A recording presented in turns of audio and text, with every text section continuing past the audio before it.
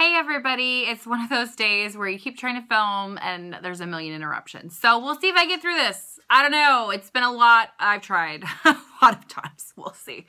So today for Nonfiction November, I wanted to talk to you a little bit about the books that affected how I homeschool. So that said, it's not a very long list. And if you're not a homeschooler, that's fine because there are several that would be great just for parents as well as other traditional educators. Um, and there are even a few that I think would be really cool if you're trying to learn about something for yourself. So that said, if you're not a homeschooler, this list is still pretty great. First up is The Well-Trained Mind, A Guide to Classical Education by Susan Wise Bauer. And this one's kind of, everybody's heard of it if they're a homeschooler, or at least most people have. But the thing that I really liked about this is it talks about how you don't have to teach everything all in one go but how we should build on on the different stages. Uh, kids are all sponges when they're little, and so if you expose them to lots of different things later on, they can recall it if you kind of bring up the connection. It's like a spider web. So the more touch points to the spider web, the uh, better ingrained it is. Uh, I really liked the idea. Also, that book kind of helped my husband get on board with the idea of homeschool. So for that, I'm grateful. The second book is called The Global Achievement Gap by Tony Wagner. And in this book, uh, this was really actually, I think both my, a lot of our parents are actual traditional educators and they also read this book and liked it. So I think it'd be good for pretty much anybody, even in the workforce. So Tony Wagner goes around to different CEOs and asks them, uh, for these global companies, what traits are you looking for in new hires? What do you feel is lacking? And the things that they talked about were cooperation uh, or collaboration, either one, creativity and communication. And Tony brings up the point that a lot of times people in traditional schools are encouraged to do all of their work alone. Um, there's more emphasis on competition uh, between each other as opposed to trying to collaborate. Um, so he kind of talks a little bit about that. Um, just you trying to answer questions. You don't use as many much creativity or communication. You're looking for one specific answer. And I liked that he gave practical ideas for teachers to try and incorporate those skill buildings into their teaching. Um, so it was a very interesting read. I think for anybody, I really enjoyed it. The next one is called Deconstructing Penguins um, by Lawrence Goldstone. And in this book, I really liked it. It's really tiny, but it packs a big punch. And the thing I liked about it was it talks about literary criticism in a parent-child book club, which you think would be like the most dry thing ever. But I laughed so many times reading this book. He talks about, um, yeah, just how he went about setting up this book club, uh, what books they talked about, what questions came up, and how to make this happen for you in your own community or with your own child. Uh, he made me feel like I could I could do that pretty pretty well because uh, it's very good about giving you the skills you need, um, but you also laugh a lot as you learn, and I appreciate that anytime in a nonfiction book where you feel like uh, learning is not a chore and it's it's about the process. So definitely deconstructing penguins is great if you are anybody who likes books. So if you're on BookTube, yeah, that's that's you right there because I learned a lot even just about my own reading from that book. So, uh, yeah, good one. Very highly recommend. The next one is Leonard Sax's Boys Adrift. Now, I have two boys and one girl. She came around a little bit later, and I know he's actually done one on girls, but I don't remember which. Girls on the Edge, maybe?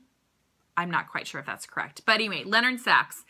I know that there's lots of differences between gender and sexuality and all, all those I'm not going to get into that right now. However, in Leonard Sax's book, he talks about some of the wiring differences in the male anatomy uh, and the brain there. And so, uh, and also just some of the challenges that that creates because of the environment we have, um, whether it's uh, different hormone changes in our environment or um, just the the expectation uh, of our traditional education, having them sit still. But he also gives, again, some practical ideas for um, schools and parents to improve upon those things for uh, for boys to advance easier. And I, I liked that. Like there's this one school he talks about where they actually, it's all boys school and they do school in the treetops and the kids climb trees while they're learning. And I loved, I thought that was very neat and it made me kind of reevaluate how I teach my boys. Um, I still could get a lot better. I am by no means a, a, perfect homeschooling parent, but I appreciated the inspiration that was in there as well as the science to back it up.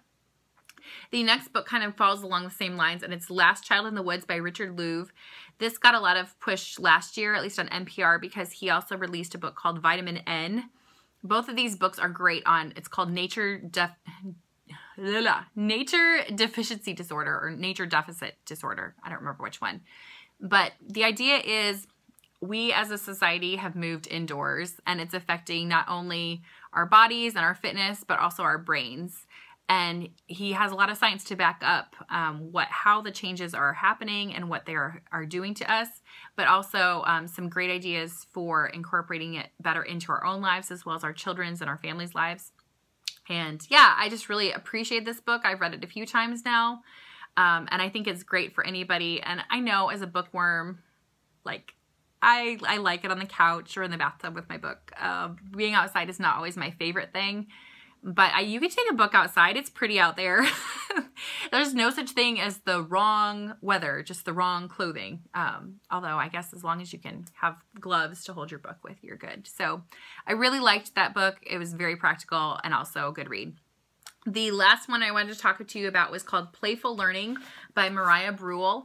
And this book is also, I think, good for any traditional educator as well, um, but even parents. It talks about lots of different ways to incorporate um, the arts, the writing, science into your home life, uh, as well as your classroom life to make it more engaging and interactive. Kids do not learn from books as, uh, as at least not textbooks, as well as they're going to learn from exposing themselves um, to different experiences.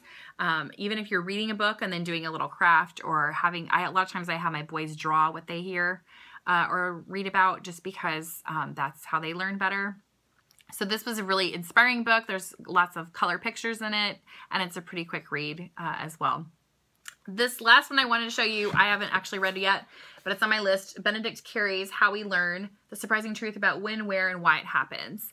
And I think, again, this would be good for anybody who wants to learn more about brain science. So that's my list of great books on um, that, that have affected how I educate. And yeah, what are the books that have really affected you if you homeschool? I would really love to hear that, uh, as well as if you're uh, a regular teacher. So yeah, as we continue on with Nonfiction November, I'm really enjoying the books that I'm reading. I will probably do two wrap ups because there's a long list and I don't want to be too long and dry. So there you go. Talk to you guys later. Bye.